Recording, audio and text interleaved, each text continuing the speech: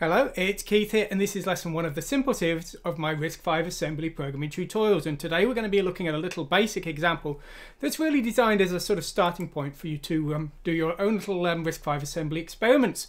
Now what we're going to do today is we're going to look at two simple functions, one to show the contents of a register to the screen in hexadecimal and another to read in from the keyboard some a series of characters and convert those to hexadecimal and store them in a register. So we can take in a value in a register and then we can show a value of a register back back to the screen.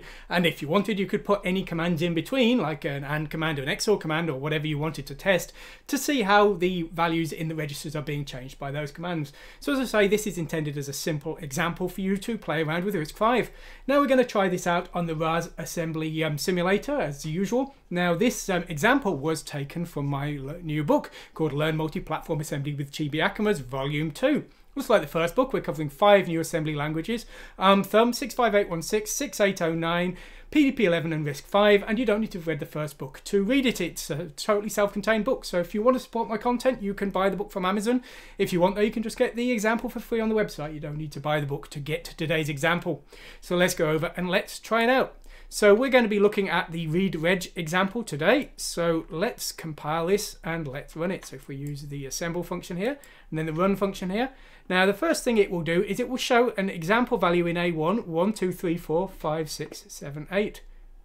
So if I get my mouse under control here, and then I'm going to now type in a value in the keyboard. So I'm going to type in 9876543 and the that has read in the eight keys from the keyboard and it has loaded that value into A1 here. So we have read in a value from the keyboard, loaded it into a register and shown that register back to the screen. And as I say, that is the purpose of today's example. Now, this builds on the previous example, which was the Hello World example. Now, the Hello World example, we used a function called printchar. This used an eCall, which is an operating system call, and we load the number of the operating system call into A7. Now, the function 11 of the operating system, the um, simulator in this case, the RARS simulator, um, function 11 will show the character in A0 to the screen. So this eCall will show a character to the screen. As I say, this is a RARS simulator function. The eCall is a defined command within the um, RISC-V assembly language. However, what th that function will do will depend on the system. But as I say, this simulator works in the way that function 11 in A7 will show A0 to the screen. Now, as well as showing characters to the screen, we also need to read characters. Now, to read characters, we're using function 12. Now, we load 12 into A7 and then we run the eCall and that will read in a character. Now that will load in a character into A0 and that's what we'll use to read in characters to our registers. First of all though, let's take a look at the showreg function. Now the showreg A1 function will show the contents of A1 to the screen. You can see here at the start We've loaded the immediate value 1, 2, 3, 4, 5, 6, 7, 8 in hexadecimal into A1 and then we've called that subroutine. And you can see at the start here of our execution that was shown to the screen. So how's this showreg A1 function going to work? Well, the first thing we're doing here is we're allocating 4 bytes on the stack. We're subtracting 4 from the stack pointer and putting the return, return address onto the stack. And that's so we can call the print printchar subroutine to show characters to the screen. Now, we will load in A0 with whatever character we want to show. And first of all, we're going to show a label so that we can tell what is the um, register that we're showing and separate the label from the actual bytes of data. So we're going to show an A and then a 1 and then a colon to the screen with three successive executions of the print char function. Then what we're going to do is we're going to show all eight of the nibbles in the 32-bit register. Now a nibble is 4 bits and the registers are 32 bits so we're going to need to do this 8 times. So we're using A4 as our counter here and we want to show A1 to the screen but we're moving it into A3 which is effectively going to be our sort of um, temporary variable and we're going to use the bits in A3 in this execution. Now what we're going to do is we're going to take the four bits that we've processed out of A3 but for us to actually use these to show to the screen what we're going to need to do is we're going to need to take the most significant four bits from A3 and store them as the least significant in A0. So that's what that first line is doing. It's taking these bits, the most significant four, and storing them in the least significant in A0. And then the second line there is shifting the remaining bits along so that the next execution can do the same thing. what we're effectively doing here is getting the four bits that we want to show to the screen. What we're going to do next is we're going to actually use those and we're going to um, show them as a character. So the first thing we're doing here is we are removing any remaining bits except for the least significant 4 from the A0 register and then we're adding the character code of the 0 to that value. Now A0 now nearly contains the correct ASCII value for the 4 bits in hexadecimal. The problem is that hexadecimal bit because while 0 to 9 will work fine, A to F will not because there's a space in between in the ASCII character set. So what we're going to do next is we're going to compare the character in A0 and see if that is less than the colon character. If it's less than the colon character, that means it's a number, and that means we are we've got the correct ASCII value for the digit that we're trying to show to the screen. However, if it's not, then we need to do some conversion.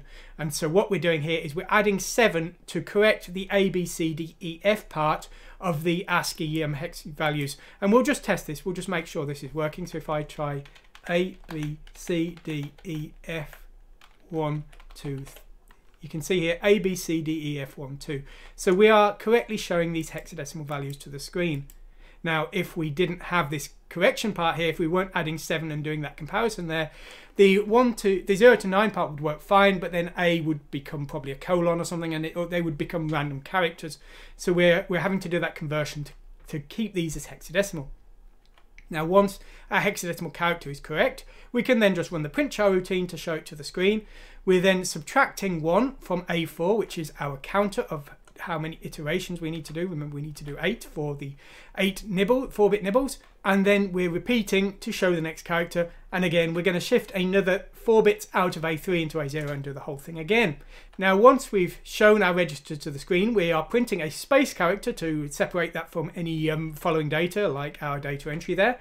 And then we're simply returning by popping the return address off the stack and running a return command. So that's how we're showing a register to the screen. Now, reading one in in some ways is kind of similar. So basically, we're going to kind of do the opposite, if you will. We run our read reg function here, which will read a an 8 nibble value into the register A1, and then we're showing it to the screen here. How do we actually do that? Well, again, we're going to have to do 8 iterations and we're going to have to read in a character using function 12 of the equals there and that will read in a character into A0. Okay, well we're going to need to compare to the colon again and if the character is greater than or equal to a colon, well we're going to need to subtract 7 again to convert the letters into the correct hexadecimal values.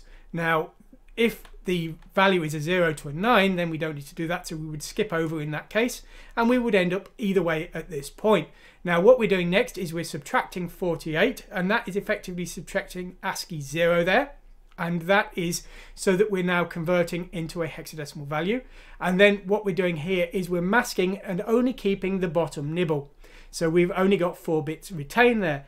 We're then shifting A1 to the left by 4 bits and we're ORing A0, the character we just read in that's now been converted to a 4-bit nibble, into A1 there. And that is get building up A1 one iteration at a time, moving 4 bits in, shifting them across, next iteration moving another 4 bits, shifting them across, moving another 4 bits in each time. And so with the 8 iterations, the first 4 bits will become the most significant 4. We are then just decreasing our loop count and repeating until we've done all eight nibbles, all eight characters for our hexadecimal value. We're then showing a space to the screen and we're returning. And that's how this is working. That's how we're able, I keep pressing the wrong um, compile button there. I'm used to my other assembler which uses F6 there. And that is how we're able to use this. And as I say, we can type in 0A, 0B, 0C, 0 D or something like that and it will show it to the screen. As I say, this is intended as a simple example that you can work on and build into your own little programs. So there we go. That's the end of today's example. As I say, if you like what you've seen, please consider buying my book. If you want to learn more RISC-V, this isn't all that's available, and you don't need to buy my book. I shouldn't tell you that, but you don't. You can do a search for Chibi Akumas and RISC-V on YouTube, and you'll find I've got a whole range of um, tutorials on RISC-V, so there's plenty you can learn for free. So get learning if that's what you want to do. Anyway, I hope you've enjoyed what you've seen today. Thanks for watching and goodbye.